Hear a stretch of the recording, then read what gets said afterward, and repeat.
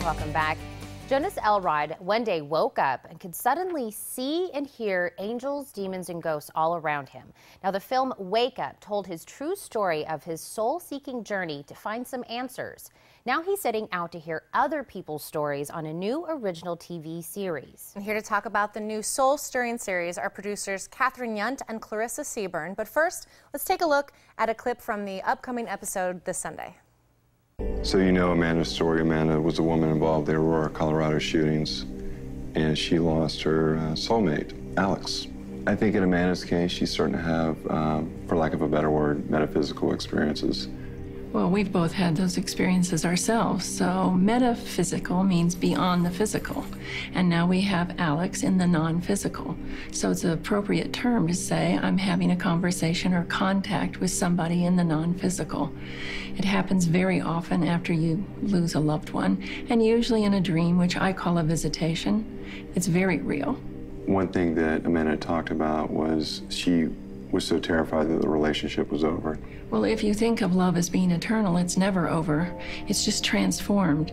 And so part of our challenge of those left behind here in the physical is how are we going to identify our relationship now in a new way? But the relationship continues. Absolutely. And that's the piece that keeps us connected. And that's the way that we connect with our loved ones on the other side and even how we're supported and get through the events on this side is our loving family and our loving friends. It's that connection that helps us heal. Wow. So, ladies, uh, we're obviously hearing uh, this upcoming Sunday this particular story, but the series kind of takes on several different stories. Tell me how you all got involved uh, with Jonas and these stories that you'll be telling.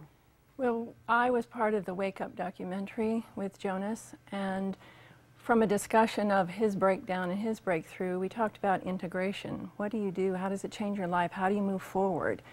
And how are you a different and better person because of it? And from that conversation with Clarissa and I, Jonas and um, he had already a connection with the OWN network because Wake Up had filmed on Super Soul Sunday. It was their debut.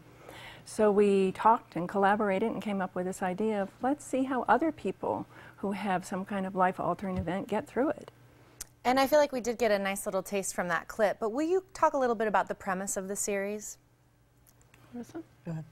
Uh, the idea is breakdown, breakthrough, integration. People have all kinds of life altering events. And what is it that makes them resilient? How do they move through it? What kinds of resources and tools and people, therapies do they use? And how do they come out the other side? What makes people recover from these different events? So we chose candidates, eight different people who had a variety of events, and specialized on techniques and therapies that help them resolve those issues. And I know you just mentioned uh, breakdown, breakthrough, integration, and that's actually something that you, you tackle in all of the, the episodes. Is that uh, a common theme? Yes. We do them in three acts, basically, where we talk about what was that individual's breakdown, how what aha moment, what awareness did they have as a result of it? And then finally, the most important piece, the integration piece, how does that change you? How does it change your thinking, your feeling, and how you relate to the world? Mm. Now, as a viewer watching, what are you hoping that the viewer is going to take away? What message are you hoping to send? Well, I think from an educational piece, we're hoping that people discover there are therapies and tools and people and processes that they might not have been aware of that could be helpful to them. So more of an educational piece of, oh, that worked for them, maybe that could work for me. And I know we actually have several ties uh, in these stories to Arizona.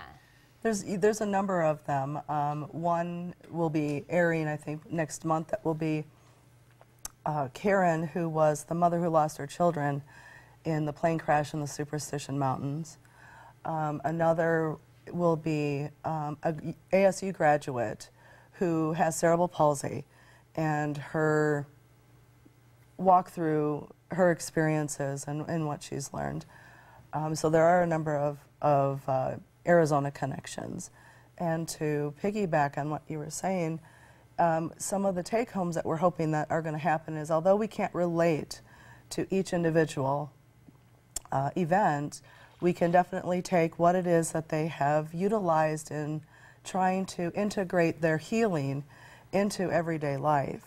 And that is probably the most important aspect of any healing, is to be able to do that, to continue on.